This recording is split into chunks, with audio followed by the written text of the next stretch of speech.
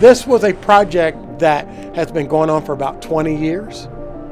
Way back in my early days of starting the zookeeping, um, I had this idea from reading about penguins' natural history is that they spend most of their life in the in the water, and we were working on a project where we trained them to spend more time swimming.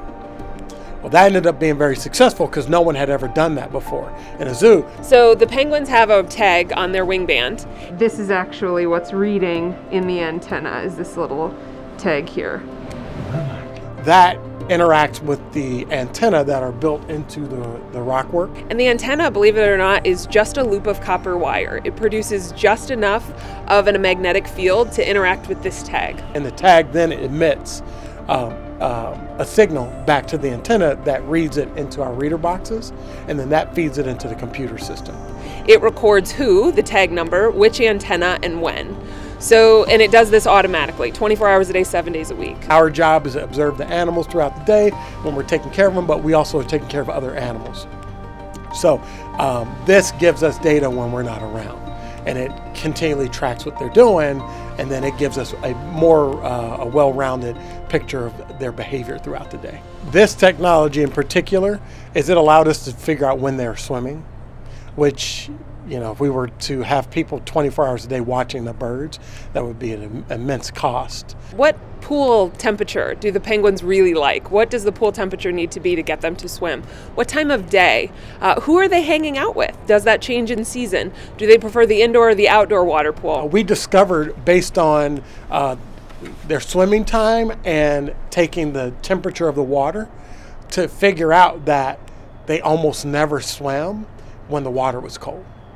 So that gave us direct information to say, okay, we'll heat this water and we'll get them utilizing their space more often throughout the year. Because this is running 24 hours a day, seven days a week, if we know when the enrichment is implemented, we can look at their behavior before the enrichment, during the enrichment, and after the enrichment, and make very clear database decisions on this really was effective at increasing swimming behaviors or maybe more social behaviors. This is the first I'm aware of of it being used in a zoo setting to address these questions. We found a um, non-proprietary system that allowed us to custom design our system. We saved a lot of money for doing it that way, and then we made it fit our specific needs. So it's never been done in a penguin habitat ever in the world. So this is first in the world for penguin habitats, and we have two here at the Cincinnati Zoo set up this way.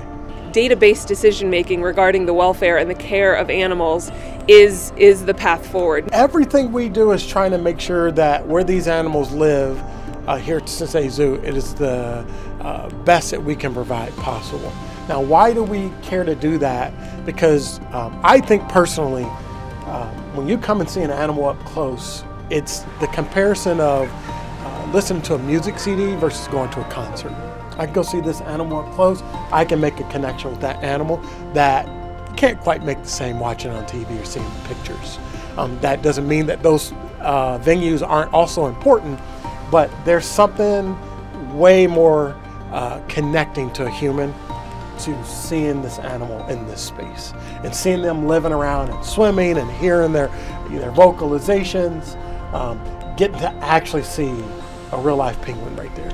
This is set up so we can have them out year round. That's um, another thing that was a big, you know, the zoo's open year round and, you know, we want you to be able to see penguins year round. So I think that's really important what we do. We're bringing um, otherwise, you'd have to go to South Africa. Everyone can't go to South Africa. That would be very expensive. I've also been contacted by educators saying, I would love to bring this into my fifth grade classroom. I would love this to bring this into my computer programming class because what better way to get students really interested in analyzing data if there's a story behind it? we're going to be able to share this data with colleges, high schools, other zoos, other places, even uh, conservation programs where they take care of these animals and be able to learn a lot about them, uh, just stuff that we never knew before. So I think in terms of community engagement, we really can help educate the public while we're educating ourselves and be able to share that and make really interesting stories for these guys. The, the thing that is exciting for me personally is this has been uh, the evolution of, a, of a, a, a project that's been going on here for